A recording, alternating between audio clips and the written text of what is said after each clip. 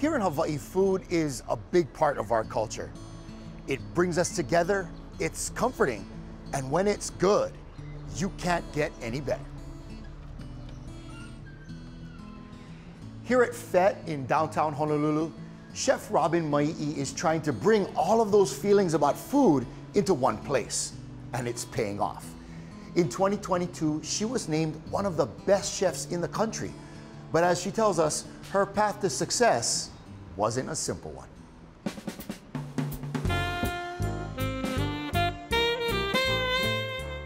My journey with cooking began at home. Um, both my parents are very, very good cooks. They have different styles. My mom is a recipe hugger, so she likes to clip recipes. We grew up with Gourmet Magazine and Bon Appetit and Sunset and all those great magazines where you clip the recipes and you put it in a binder.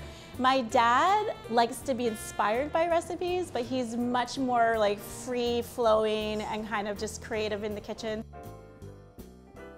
I loved cooking from a very young age, but having Asian parents, the idea of pursuing a career in culinary arts just wasn't in the cards for me until I until my senior year when I really started thinking about like oh oh no what am I going to do? But I saw a brochure in the career office for culinary school and I it really resonated. I thought oh I would love to do that. That sounds great. That sounds fun. Of course I had to tell my parents that I wanted to go to culinary school and they weren't happy um, and then they said, well, you need to find a way to fund it yourself. So um, I started doing research and then quickly realized how expensive culinary school is.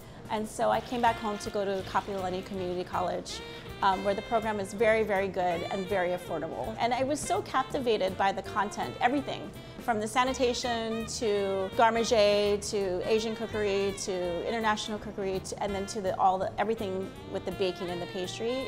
All of it was really, really fun and interesting.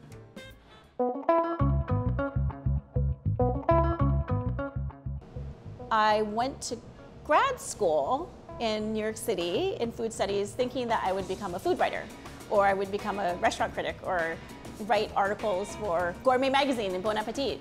During that time, I met my husband and um, we fell in love over food and, and wine and cocktails and, and um, I think most important, entertaining friends at home.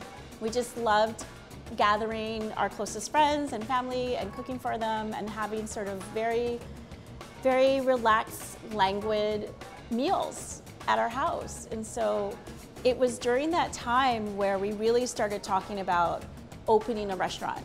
Robynne and I came up with the idea for Fête. It had been sort of uh, baking and congealing in our minds for a period of time. Uh, it was sort of loosely based on dinner parties that we threw, restaurants that we worked at. The concept of having a dinner party or a fete, inviting people in, but also based around a neighborhood place that we wanted to have food, drink, cocktails, wine, all that centered around whatever's going on in your day.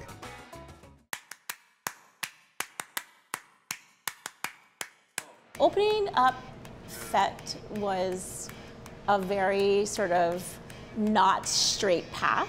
When you're raised with Asian parents, with when education's like paramount, right? So like get a good education, get a good job, get married, have kids, buy a house, and then and then it just continues. But that didn't happen that way. Life never happens the way that you that you want it to happen. We really, really wanted to have a family and we weren't able to. So um, once we decided to move on from from having our own children, really the idea of Fête became like more viable and um, important to us. Fête is a new American restaurant. We like to source as many local ingredients as possible, but we also very much treat the restaurant like our house. We cook as if you are coming over to the house. Um, we cook what we crave and what we love to eat, and we hope that when people come, that they enjoy it as much as we do. In my mind, what separates us from other restaurants, I would say the collection of our crew. Uh, we empower people to do the things that they're good at. Uh, the thing that Robynne and I, and then also Chef Emily, try and work with is finding that that right spot for each person to shine. It, it's rare a restaurant has two partners who are working a lot, like Robynne and I do, but also have Emily, who is such an integral part of our system, who is of like mindset of that it has to be done right. You know, it doesn't have to be done perfect. You just have to try the best you can. And to see them work together, uh, it's almost like they got two mamas in the house, I think is what my wife will say sometimes.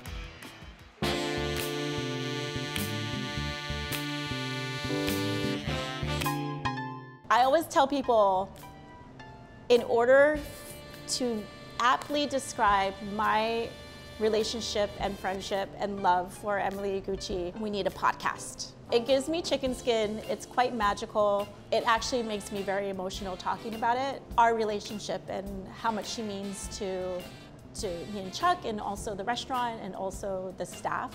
It, it's, it's, it's uncanny and it's, it's like, it's really, really, um, it's kismet. It really is. So uh, I love her and um, I mean, even when I say those words, it doesn't even feel like it has enough weight for how, how special she is to, to me and to the restaurant. I loved Robynne when I first met her.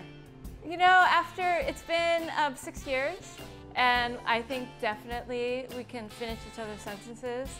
And she knows when the cooks say something that I didn't actually say that, that she knows what I was going to say or what I really meant. One of the reasons why Emily and I bonded over working together in the kitchen is this idea of mentoring people because I think that we have a lot to share. And it always really just rubbed me the wrong way when chefs would say, well, I, I'll share the recipe with you, but then I'm gonna have to kill you. Because I just don't think that that is what makes good cooking. There's no such thing as a perfect recipe. It really does take care, dedication, presence to cook well on a daily basis. And I think that people who covet and, and really sort of like believe that this one recipe is so special that they can't share it with anyone, well, what's the point of cooking them? Really, what, what is the point? So for us, it's about developing cooks who are curious and who really, really, really love the process. My favorite part of working here is the people that I work with. It's like family. It's nice to be able to help the young gen new generation and teach them new skills. So that's really exciting. There's always something, eh, there's something new every day.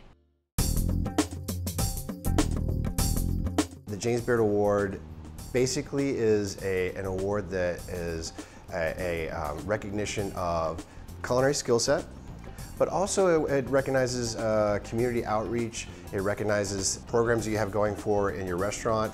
It's more holistic than just a good job on the food. So in, in 2022, we were super surprised to be nominated. I texted my wife, I called her, texted her, called her, no response. So when I got to work, I walked downstairs, I look at my wife, and I, uh, I'm, I'm like about to burst inside, and I was like, did you not see your phone? And she's like, what happened? What's going on? And she thought something bad was happening. So I was like, no, we got nominated for a James Beard Award. And she looks at me sort of matter of factly like, okay, I got a lot of prep to do. I got to go back to work.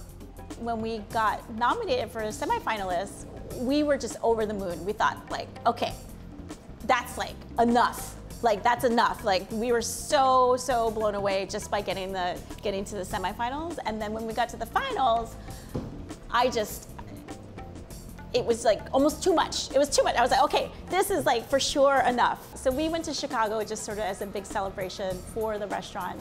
And so when we actually did win, that's why I still have, I, I still don't know what to do. Like, and so when people say congratulations and I say thank you and they're like looking at me and I'm like, we're super happy, we're super excited.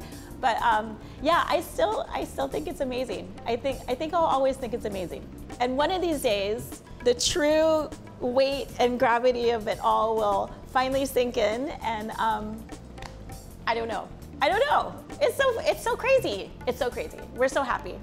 Yeah. I look up to my wife in so many ways. She is an organizer. She is a master of engineering and figuring things out, putting things together. She's a master of internal internalization to be a better person to manage things better. But seeing her growth, uh, I feel is has been super rewarding, and for her to win the James Beard Award, I can't tell you how many times I cried about that. I was just so happy for her.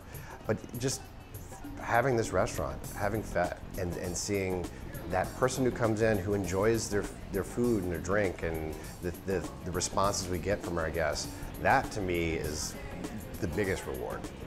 We feel very, very privileged every day to do what we do. Every day, even if I'm tired, even if I'm like angry because of something dumb, as soon as like I come to work, I quickly sort of snap out of it like that because I realize how lucky we are to be doing what we're doing.